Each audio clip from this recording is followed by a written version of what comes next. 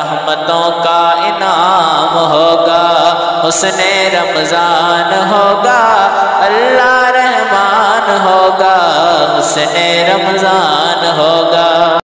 आउदबिल्लिमिनशैतानिर्रजीम बिस्मिल्लाहिर्रहमानिर्रहीम आज दो रमज़ान मुबारक की हुसन रमज़ान ट्रांसमिशन में तमाम हाजरीन सामीन को खुश आमदीद और अस्सलाम वालेकुम वरहमतुल्लाहि आज जैसा कि दूसरा रोज़ा है और दूसरे रोज़े की मुनासबत से हमने एक नए उनवान के साथ आपके सामने हाजिर हुए हैं तो इससे पहले मैं प्रोग्राम आगे बढ़ाने से पहले तलावत कलब पाक के लिए दावत दूंगा हाफज उबैदुलरहमान फारूकी साहब को कि वो आए और तलावत कलाम पाक से हमारे लोग को मुनवर फरमाएं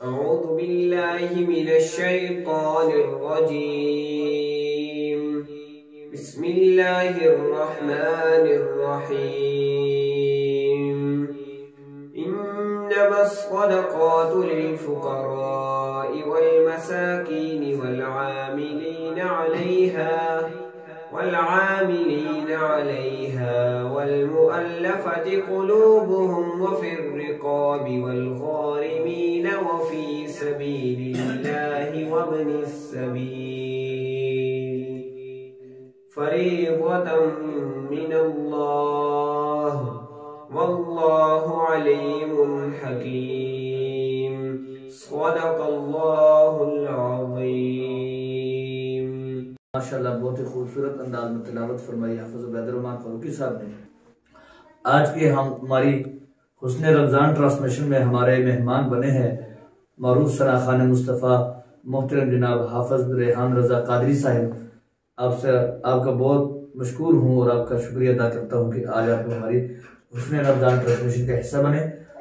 मैं इनसे मुलतमस हूँ कि आज हमें खूबसूरत सन्नातिया कलाम सुनाए। मोहतर जनाब हाफज रेहान रजा कादरी साहब अपनी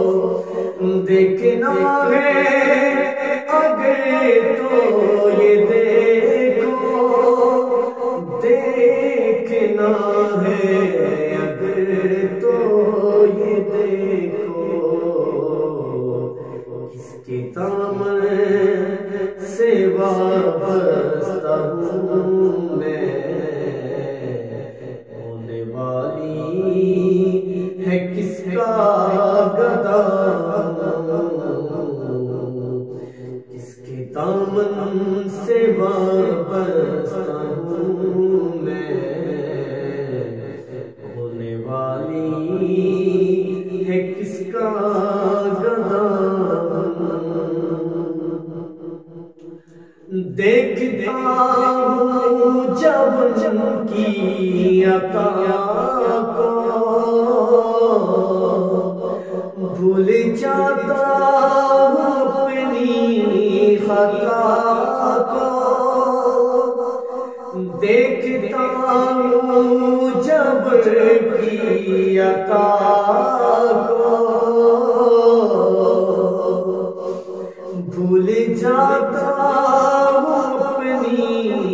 खता को भूल जाता अपनी खता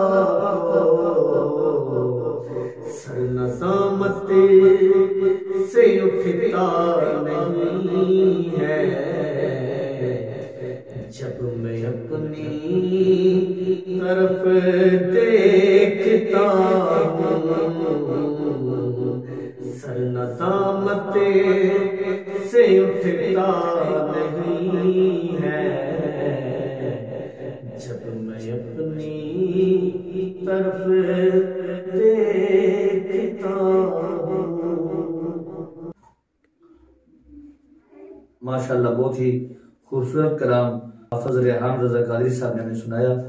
आपकी आमद का बहुत बहुत शुक्रिया। रहमतों का इनाम होगा हुस्न रमज़ान होगा अल्लाह रहमान होगा हुस्न रमज़ान होगा। आज हम अपने मौजू की तरफ़ चलते हैं और अपने मेहमान से तारुफ कराते हैं। आज हमारे साथ मौजूद हैं उस्तादुलमा हज़रत मौलाना जबर बिलाल साहब। अस्सलाम वालेकुम वरहमतुल्लाहि वबरकातुहू हज़रत वालेकुम आपको हुस्न रमज़ान मुबारक के रमज़ान ट्रांसमिशन में आमद पर खुश आमदीद कहते हैं। शुक्रिया। सामाइन मुकरम आज का मौजू है ज़कात उसके अहकाम और शरी हदूद वगैरह जो कि पाबंदी लगाई गई है शरीयत ने उसके मुतालिक। तफसील से गुफ्तु होगी। तो सबसे पहले मैं हज़रत से यह सवाल करना चाहूँगा कि हज़रत ज़कात क्या है? यानी ज़कात से क्या मुराद है? हाँ बिस्मिल्लाहिर्रहमानिर्रहीम। रफिया साहब, सबसे पहले तो आपका बहुत शुक्रिया। अल्लाह आपको जैसे खैर दे कि आपने हमें अपने प्रोग्राम में दावत दी है। और आपने जो सवाल किया है ज़कात के मतलब ज़कात का एक माना है। कि ज़कात का माना और मफहूम क्या है? तो ज़कात का माना है पाक करना। तो ज़कात भी क्योंकि जो दी जाती है, ज़कात अदा की जाती है तो इसकी वजह से आदमी का माल पाक हो जाता है। तो इस वजह से इसको ज़कात कहा गया। फिर ज़कात एक शरी हुक्म है। अल्लाह ताला ने कुरान मजीद में जा बजा नमाज़ के साथ ज़कात को भी ज़िक्र फरमाया अकीमुस्सला वातुज़्ज़का कई जगहों पर अल्लाह ताला ने इसको ज़िक्र फरमाया। इसीलिए बहुत सारे सहाबा कराम रज़ी मजमाइन से ये बात मरवी है कि जो आदमी नमाज़ पढ़ता है, ज़कात अदा नहीं करता, ज़कात फ़र्ज़ होने के बावजूद तो गोया कि उसकी नमाज़ भी नहीं। नमाज़ और ज़कात दोनों मिली हुई चीज़ें हैं, दोनों का अदा करना ज़रूरी है। जैसे जिस तरह नमाज़ फ़र्ज़ है, इसी तरह ज़कात भी फ़र्ज़ है। तो ज़कात एक फरीज़ा है, अल्लाह ताली की तरफ़ से मुकर करदा फ़र्ज़ है। अरकान इस्लाम में से है। इसको अल्लाह के नबी सल्लल्लाहु अलैहि वसल्लम ने इरशाद फरमाया, बुनियाद इस्लाम वाला हमसे इस्लाम की बुनियाद पाँच चीज़ों पर है, उनमें से एक ज़कात भी है। ज़कात एक शरीयत का हुक्म है, अल्लाह ताला का हुक्म है। नबी सल्लल्लाहु अलैहि वसल्लम ने उसकी तफसील बयान फरमाई है। सोने का निसाब बताया आपने चांदी का निसाब बताया, माल तजारत का निसाब बताया, ऊँट का, बकरियों का, गाय का, भेड़ों का सारी चीज़ों का निसाब आप सल्लल्लाहु अलैहि ने बताया निसाब पूरी तफसील मौजूद है और उसके ऊपर फुकाहा ने किताबें लिखी हैं। तो फ़िक्र की अबवाब के अंदर बाकायदा अबवाब है इसके लिए किताबों में। इसका मतलब ये एक फरीज़ा है, फ़र्ज़ है जो कि अल्लाह ताला की तरफ़ से मुकर किया हुआ है और इसको अदा करना ज़रूरी है। और अगर आदमी ज़क़़त अदा नहीं करता तो इस पर वईदें भी बहुत सारी हदीस में पुरानी मजीद में आया है। कि जो आदमी ज़क़़त अदा नहीं करता, उसका माल क़्यामत के दिन गंजे सांप की तरह और उसको वो डसेगा और आदमी परेशान होगा कि ये मेरा माल मेरे ही खिलाफ इस्तेमाल हो रहा है। ये सांप की सूरत में आदमी के ऊपर लिपटेगा और आदमी के सामने आएगा, आदमी को डसेगा और आदमी को कहेगा कि आना कंज काना माल हो मैं तुम्हारा खजाना हूँ, मैं तुम्हारा माल हूँ, जिसकी तुमने जक़ात अदा नहीं की, अब ये क़्यामत के दिन इंसान को परेशान करेगा। इसलिए माल जो अल्लाह ताला ने दिया है, उस पर ज़क़़त को अदा करना ज़रूरी है। तो ये ज़क़़त गोया कि एक मखसूस मकदार जो आदमी के पास मौजूद होगी, सोने की सूरत में, चांदी की सूरत में, माल तजारत की सूरत में या जानवरों की सूरत में आदमी के पास मौजूद होगी तो उस पर जो मखसूस मकदार अल्लाह के रास्ते में दी जाती है, मुस्तकिन तक दी जाती है, उसको ज़क़़त कहते हैं। सही। माशाल्लाह, बहुत ही तफसीली गुफ्तु की हज़रत ने से मैं इसी ज़मन में एक और सवाल ये करना चाहूँगा कि ज़क़़त की शरी हदूद, यानी कौन सा बंदा मुस्तक किस कैफियत का हो वो ज़क़़त ले सकता है और किस कैफियत का हो वो ज़क़़त नहीं ले सकता? और ज़क़़त की जो नसाब है, वो आपने जैसे कि बता दिए, माल के ऊपर कितने परसेंट उसका ज़क़़त होता है और उसके बाद बाकी क्या हिसाब होता है वो भी ज़रा क्लियर कर बहुत अच्छी बात आपने पूछी है। ज़क़़त, जिन लोगों पर फ़र्ज़ है, पहले तो ये देखना होगा कि आया किन लोगों पर ज़क़़त फ़र्ज़ है। तो जो साहब निसाब लोग हैं, उन पर ज़क़़त फ़र्ज़ है। अब आदमी साहब निसाब कैसे बनता है? तो उसके लिए हमें ये देखना होगा कि सोने के के अंदर अल्लाह अल्लाह के नबी सल्लल्लाहु अलैहि वसल्लम ने जो हुक्म इरशाद फरमाया कि वो साढ़े सात तोले सोना होगा, सिर्फ़ सोना हो। साढ़े सात तोले होगा तो उस पर ज़क़़त फ़र्ज़ है। और साढ़े बावन तोले चांदी है तो उस पर ज़क़़त फ़र्ज़ है। उससे कम है तो नहीं। लेकिन ये ये शर्त बहुत ज़रूरी है कि सिर्फ़ चांदी है, साथ और कुछ नहीं है। इसी तरह माल तजारत, जिसकी मालियत चांदी की मकदार को पहुँचती है या सोने की मकदार को पहुँचती है। साढ़े बावन तोले चांदी की मालियत को या साढ़े सात तोले सोने की मालियत को पहुँचती है, उस पर जक़ात फ़र्ज़ है। तो इन पर ज़क़़त फ़र्ज़ होगी। और इसी तरह अगर किसी ने तजारत की नीयत से यानी उसको प्लाट खरीदा है, बेचने के लिए या गाड़ी खरीदी है, उसको बेचने के लिए कि उसको बेचूँगा, या और कोई सामान उसने खरीदा है बेचने के लिए तो ये गोया कि उसका माल तजारत है। एक तो है कि किसी ने दुकान रखी हुई है या किसी ने ऑनलाइन उसने कोई सामान खरीदा हुआ है और वो बेचने के लिए बेचना चाहता है, और एक है कि किसी ने प्लाट या गाड़ी या कोई मकान खरीदा है बेचने के लिए तो ये भी उसका माल तजारत में से आएगा और उसकी मालियत लगाएँगे और फिर उसके ऊपर जक़ात फ़र्ज़ होगी। और उसमें क्योंकि आजकल हमारे यहाँ सोने की की जो मालियत है वो ज़्यादा है और चांदी की मालियत कम है। तो आजकल का जो रेट चल रहा है इसके हिसाब से दो दिन कबल मैंने जो हिसाब लगाया एक लाख इकतीस हज़ार और कुछ रुपए अगर किसी के, के पास जो नकदी की सूरत में मौजूद हों या जमान तजारत उसके पास मौजूद हो एक लाख इकतीस हज़ार के, के बराबर। या उससे ज़रूरत से ज़्यादा उसके पास कोई प्लाट की सूरत में या गाड़ी की सूरत में, ये भी ज़रूरत से अगर किसी की ज़ाती इस्तेमाल के लिए गाड़ी है तो उस पर जक़ात नहीं है। लेकिन अगर उसने गाड़ी खरीदी है कि बेचूँगा मैं इसको तो फिर उस पर जक़ात होगी। उसकी मालियत लगाई जाएगी, उसकी कीमत लगाएँगे और फिर अगर वो एक लाख इकतीस हज़ार उससे जायद किया तो फिर उस पर जक़ात फ़र्ज़ होगी। जक़ात अदा करनी पड़ेगी। इसी तरह हमारे पास लोगों के पास प्राइस बाड होते हैं या हमारे यहाँ बाद लोगों के पास जो है वो शेयर्स होते हैं कंपनीज़ के। या किसी ने किसी को कर्ज दिया हुआ है, एक लाख, दो लाख रुपए किसी को कर्ज दिया हुआ है, अब ये भी उसके उसकी जो है कि मालियत में शुमार किया जाएगा। इसके पास नकदी की सूरत में कितना माल मौजूद है और उसने जो कर्ज दिया हुआ है, वो पैसे कितने मौजूद हैं, उनको भी शामिल किया जाएगा। और तो उस सूरत में उसको सबको जमा करके फिर उसकी जक़ात अदा करनी पड़ेगी। एक मसला बहुत अहम है इस बारे में कि हमारे यहाँ क्योंकि आमतौर पर जो सोना और चांदी के जो मालिक होते हैं, वो मस्तूरात होती हैं या औरतें होती हैं तो मस्तूरात के पास सोना तो है दो तोले चार तोले या सात तोले या दस तोले तक भी सोना मौजूद है लेकिन वो ये समझती है कि जब साढ़े सात तोले होगा तो फिर मैंने जक़ात अदा करनी है। अगर उससे कम है तो मेरे ऊपर जक़ात फ़र्ज़ नहीं लेकिन ये बात समझने की बहुत ज़रूरी है ये उस सूरत में है कि जब सिर्फ़ किसी के पास सोना है तो फिर तो साढ़े सात तोले सोने पर उसकी जक़ात वाजिब होगी। उससे कम पर जक़ात वाजिब नहीं होगी फ़र्ज़ नहीं होगी। लेकिन अगर किसी के पास साढ़े सात तोले सोना से कम चांदी, सोना है, लेकिन उसके पास दूसरी मालियत है, सोने चांदी की सूरत में मौजूद है, या नकदी की सूरत में मौजूद है, या उसने किसी को कर दिया हुआ है, या उसने कोई कमेटी डाली हुई है, और उसके वो पैसे सेव हैं, महफूज हैं किसी जगह, या बैंक में उसने बैंक बैलेंस रखा हुआ है, अब इसके सोने इसके सोने को हम उस वज़न के अतबार से नहीं देखेंगे। अब हम इसकी मालियत को देखेंगे। अब अगर उसके पास दो तोले सोना है और उसकी मालियत हम लगवाते हैं वो चार लाख या उससे कुछ जायद बनती है और कुछ उसका बैंक बैलेंस है, भले वो एक हज़ार रुपया है, दस हज़ार रुपया तो वो भी हम जमा करेंगे। तो अब इसके पास जो है कि चार लाख, एक हज़ार का रुपया मौजूद है, मिसाल के तौर पर उसका बैंक बैलेंस या नकदी की सूरत में उसके पास एक हज़ार रुपया मौजूद है और चार लाख का उसके पास सोना है तो चार लाख, एक हज़ार रुपया उसके पास जमा हो गया और उसकी उसने जक़ात अदा कर तो मैं क्योंकि ज़क़़त का आपने पूछा कि ज़क़़त कितनी अदा करनी है तो वो तो अढ़ाई फ़ीसद हमने ज़क़़त अदा करनी है यानी सौ में से अढ़ाई रुपये हमने अदा कर रहे हैं। उसका आसान हल मैं ये अर्ज़ किया करता हूँ लोगों को बताता हूँ कि अगर आपके पास कोई भी पैसे हैं आप उसको जमा करें चालीस पे तकसीम करें क्योंकि चालीसवा हिस्सा हमने अदा करना है चालीस पे तकसीम करें जो जवाब आएगा वो आपकी ज़क़़त बन जाएगी वो आप अदा कर देंगे।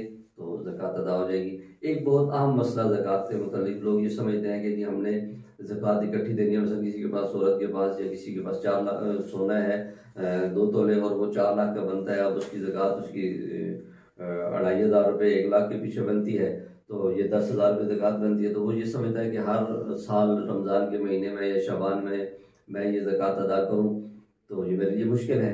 तो मैं ये अर्ज़ किया करता हूँ कि ये समझने की बात है कि ये जो माली वाजिबात हैं या माली इबादत हैं, इसमें साल का गुजरना ज़रूरी फ़र्ज़ हो जाती है उसकी वजह से ज़क़़त साल गुजरने पर। लेकिन अगर कोई उससे पहले, वक्त से पहले अदा करता है तो ये माली इबादत अदा हो जाती है। इसलिए अगर कोई आदमी पूरा साल अपनी जक़ात अदा करता रहे, हर महीने मिसाल दस हज़ार रुपये एक आदमी के ऊपर जक़ात फ़र्ज़ होती है, अब वो हर महीने एक एक हज़ार रुपया जक़ात अदा करता रहे। जब रमज़ान के महीना उसका मुकम्मल होता है तो वो अपना हिसाब लगा ले कि देखे कि मैंने कितनी जक़ात अदा किया अगर कोई मकदार कम है ज़क़़त की तो वो उसको पूरा कर दे। तो इस तरह आसानी हो जाएगी, पूरा साल पे तकसीम हो जाएगा तो ज़क़़त अदा हो जाएगी। यक मुश्त ज़क़़त अदा करना कोई ज़रूरी नहीं है। लोग ये समझते हैं कि शायद दस हज़ार हमने हैं, इसलिए वो परेशान होते हैं, ज़क़़त अदा नहीं करते या सुस्ती करते हैं। तो अगर वो इस पर आ जाए कि ये बात समझ लें कि हमने हर महीने थोड़ी थोड़ी ज़क़़त अदा करनी है तो इस तरह उसकी ज़क़़त भी अदा हो जाएगी और उनका फरीज़ा भी अदा हो जाएगा। इन भी वो मुजरिम नहीं होंगे और दुनिया के अंदर भी अल्लाह ताला इसकी बरकतों को ज़ाहिर फरमाएँगे। माल भी पाक हो जाएगा और इसका दुनिया के अंदर भी बरकतें ज़ाहिर होती हैं कि जो आदमी अल्लाह के रास्ते में माल खर्च करता है, जो मुस्तकिन को देता है तो अल्लाह के नबी सल्लल्लाहु अलैहि वसल्लम ने हदीस मुबारक में बड़े वाजह तौर पर कसम खा के फरमाया कि जो आदमी अल्लाह के रास्ते में माल खर्च करता है, अल्लाह उसके माल को कम नहीं करेगा। तो बहुत इसके दुनिया के अतबार से भी बहुत सारे फ़ायदे हैं, ज़क़़त को अदा करना चाहिए। माशाल्लाह, बहुत कीमती गुफ्तगू फरमाई। हज़रत, मैं सिर्फ़ इसमें ये एक और सवाल ऐड करना चाहता हूँ, जो शख्स कर्जदार है और उसको भी ज़कात दी जा सकती है, और सैयद और गैर सैयद का जो है, वो ज़कात का वो लेने के हकदार है ही नहीं। एक, दो सवाल ये, तीसरा, इसी के जमन में है कि मस्जिद के अंदर ज़कात लगती है कि नहीं लगती, ये एक। बहुत अहम बात आपने पूछी। एक बात तो ज़क़़त के अंदर फ़र्ज़ है कि ज़क़़त अदा करने के लिए मालिक बनाना ज़रूरी है तमलीग ज़रूरी है। अ, किसी ऐसी जगह पर ज़क़़त अदा करना कि जहाँ पर मिल्कियत नहीं होती जो चीज़ किसी की मिल्कियत में नहीं है वहाँ पर ज़क़़त अदा नहीं होती। तो ज़क़़त ऐसी जगह पर देना ज़रूरी है जहाँ पर मिल्कियत साबित हो जाए और वो किसी आदमी को हम मालिक बनाएँगे तो तब ज़क़़त अदा होगी। अगर हम मस्जिद में ज़क़़त लगाएँगे तो मस्जिद तो क्योंकि वक़फ़ की चीज़ है उसकी तामीर के अंदर या उसकी ज़रूरियात के अंदर ज़क़़त का पैसा लगाना दुरुस्त नहीं है, क्योंकि वहाँ कोई बंदा उसका मालिक नहीं होता। तो इसलिए वहाँ पर ज़क़़त नहीं दे सकते। इसी तरह मदारस की तामीर के अंदर खर्च नहीं कर सकते। मदारस के तलबा की जो ज़रूरियात हैं, खाने पीने की, उसके अंदर या उनके लिबास की या इलाज की, उसके अंदर हम खर्च कर सकते हैं। तो मालिक बनाना ज़रूरी है और जो आदमी जिस पर कर्ज हुआ है, उसके कर्ज की अदायगी के लिए हम अगर उसके साथ ताउन करते हैं तो ये तो बहुत ही अहम चीज़ है, बहुत मुसलमानों को चाहिए कि अपने मुसलमान भाइयों का ख्याल रखें। अगर किसी पर कर्ज है तो उसकी कर्ज की अदायगी में हम उसके साथ ताउन करें और उसको अपने ज़क़़त के माल में से ज़क़़त अदा करें। हमारी ज़क़़त भी अदा हो जाएगी और उसका कर्ज भी अदा हो जाएगा। ये ज़रूर करना चाहिए और उनका ख्याल रखना चाहिए। बाद दफ़ा लोग ये कहते हैं जी कि इसने अपना घर बनाया, इसकी वजह से कर्ज हो गया। ज़हर वो इंसानी ज़रूरत है, उसने अपना घर बनाया और उसने अपनी बच्ची की शादी की, अपने बच्चे की शादी की, उसकी वजह से उसके ऊपर कर्ज हो गया। तो उसने मकान बनाया, उसकी वजह से कर्ज हो गया। तो इंसानी ज़रूरत है और उस पर कर्ज है तो हम उसकी कर्ज की अदायगी में हम उसको ज़क़़त दें और वो जक़ात का मुस्तक है और उसकी वजह से उसका कर्ज अदा हो जाएगा। तो ऐसे लोगों को मुस्तकिन को तलाश करके ज़रूर ज़क़़त देनी चाहिए और मैं एक बार ज़रूर खुद भी अपनी तरफ़ से ये कहूँगा कि बाद लोग रास्ते में चलते हुए बेकारियों को अपनी ज़क़़त देकर दे देते हैं। वो बाद लोग तो मुस्तक नहीं होते। चंद दिन पहले इस तरह की वीडियोज़ आई कि फ़कीरों के पास पाँच पाँच हज़ार की पता नहीं कितनी मालियत उनके पास, लाखों के हिसाब से पैसा उनके पास मौजूद है। वो भीख माँगता है, बेकारी है, लेकिन उसके पास, लाखों की मालियत उसके पास मौजूद है। वो खुद साहब निसाब है, उसको ज़क़़त उसके अपने ऊपर फ़र्ज़ है चाहिए कि हम उसको ज़क़़त अदा करें? इसलिए ज़क़़त के मुस्तकिन को तलाश करना ज़रूरी है और उसके जो ज़क़़त के मुस्तकिन हैं, उन तक ज़क़़त को पहुँचाना चाहिए। और अगर हमारे मालदार लोग सही तरह ज़क़़त अदा करना शुरू कर दें और वो मुस्तकिन को पहुँचाना शुरू कर दें। तो मौला तारगीर साहब हमारे एक मजहबी स्कॉलर हैं, बहुत अदीम आदमी हैं। वो बात फरमाया करते हैं कि अगर हमारे मालदार ज़क़़त अदा करना शुरू कर दें तो हमारे माशरे में कोई बंदा भी फ़कीर नहीं रहेगा, कोई भीख मांगने वाला नहीं रहेगा, अगर हम सही तरह से ज़क़़त अदा करना शुरू कर दें। बहुत शुक्रिया। बहुत ही उमदा गुफ्तु फरमाई हज़रत ने। मैं हज़रत का बहुत मुश्किल हूँ कि आप आए और आपकी आमद पर हमें बहुत सारा कुछ सीखने को मिला।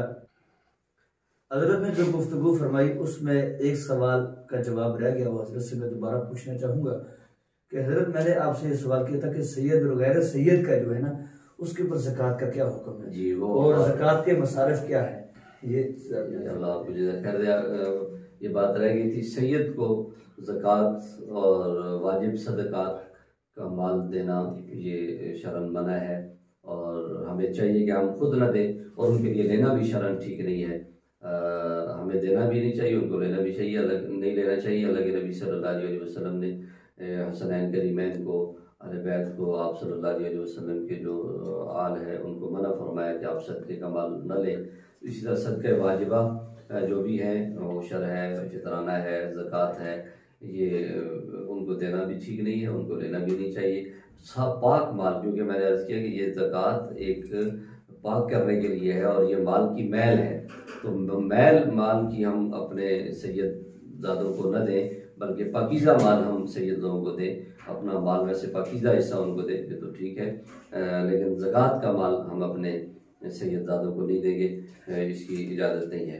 तो दूसरी बात आपने मसारफ की पूछी तो मसारिफ के मतलब अल्लाह ताला ने दसवें पारे में इन्ना इन सदक़ातफ़रा वलमसाकिन वलामिन आलिया इस आयत में अल्लाह ताला ने आठ मसारिफ अल्लाह ताला ने कुरान मजीद में बयान फरमाए हैं कि सदक़ात ये फ़ुकरा के लिए हैं, मसाकिन के लिए हैं और जो इस ज़क़़त को वसूल करने के लिए जो अमल काम करते हैं, उनके लिए है।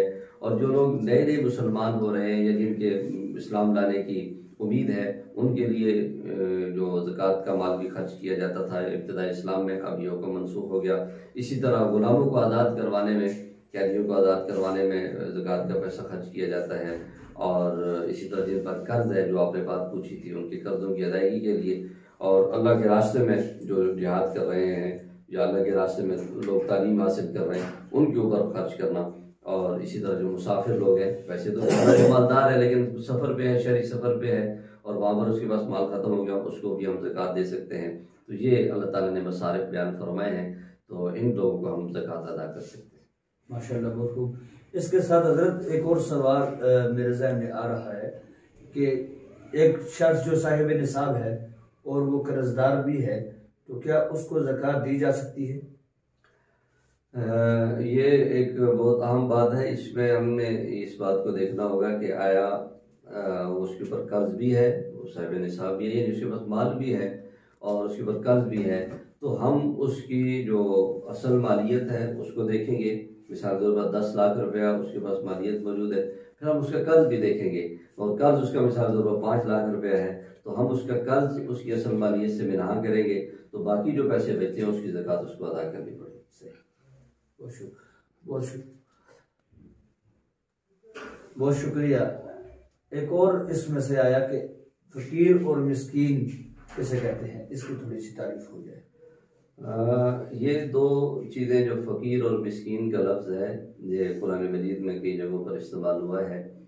आ, इनके बारे में जो हमारे फुकाहा हैं उन्होंने तारीफ़ में जो बातें की हैं वो दोनों तकरीबन मिलती जुलती हैं।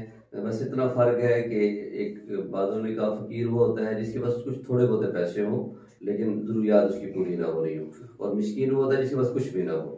और बादों ने इसका उल्ट किया है, बादों ने कहा, मिसकिन, वो होता है जिसके पास थोड़े बहुत पैसे हो और फ़कीर होता है जिसके पास बिल्कुल ना हो। लेकिन जो भी डेफिनेशन डेफिनेशन हम उसकी कर लें, तारीफ़ कर लें हम उसकी बात फिर भी वही आती है कि जो आदमी बिल्कुल जिसके पास कुछ नहीं है, उसको भी जक़ात दे सकते हैं। जिसके पास थोड़े बहुत हैं, लेकिन उसकी ज़रूरियात पूरी नहीं हो रही तो उसको भी हम जक़ात अदा कर सकते बहुत शुक्रिया हज़रत आपके तशरीफ़ लाने का। आपके इन कीमती सवाल जवाब से हमें बहुत सारा फ़ायदा हुआ।